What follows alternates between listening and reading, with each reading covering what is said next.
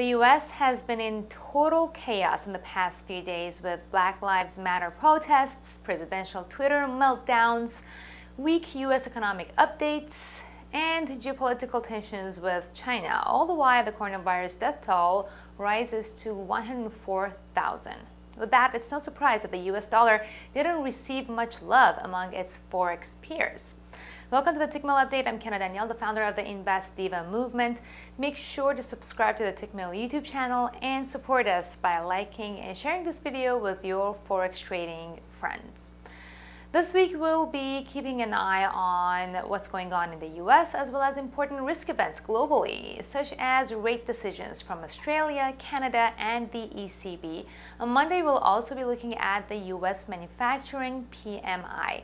Today I'm looking at the euro dollar pair that broke above the daily Ichimoku cloud on Friday and continued its bullish momentum early during Monday's Asian session. This came after the formation of a triple bottom bullish reversal chart pattern.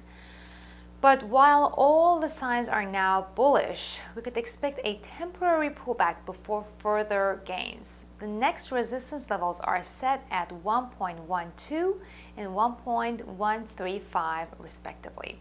Do you think the new bullish sentiment is here to stay? Head over to the comment section and let me know. Of course, trading in the financial markets involves a risk of loss and you should only trade the money that you can afford to lose. If you like this video, give it a thumbs up and subscribe to the Tickmill YouTube channel.